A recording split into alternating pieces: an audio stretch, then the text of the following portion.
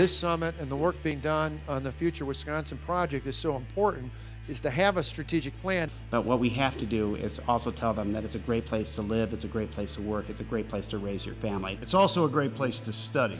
Students choose the University of Wisconsin system schools because we have a world-class reputation and about 85% of our graduates stay right here in Wisconsin.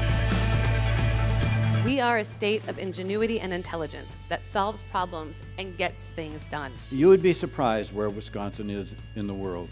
It's, it's all over. And in 2016, the International Economic Development Council awarded Milwaukee and the WEDC with a Silver Excellence Award in the Human Capital category. That's amazing stuff. Students need to be thinking about their career paths as early as middle and high school. The YA program allows students to make a decision about a future career through experiential learning and industry certifications.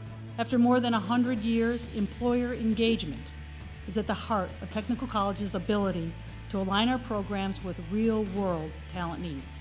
So, if we are able to invest in programs that connect students with businesses, then I think that would be a, a, big help. And for the last two years running, gener8tor has been ranked amongst the top 15 accelerators in the United States, and we're proud to call Wisconsin home.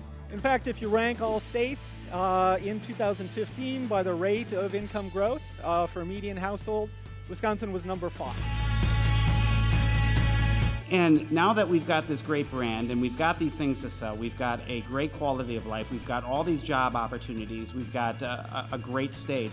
Now we need to go and market that. But to work with you and many of the organizations involved to make sure that we've got the workforce, not just for today's needs, but for the next 10, 15, 20 years and beyond. Because to me, the future indeed is so bright, we've got to continue to wear shades, and I want to make sure it's even brighter going forward. You make that possible. Thank you for what you do. Continue to do it going forward.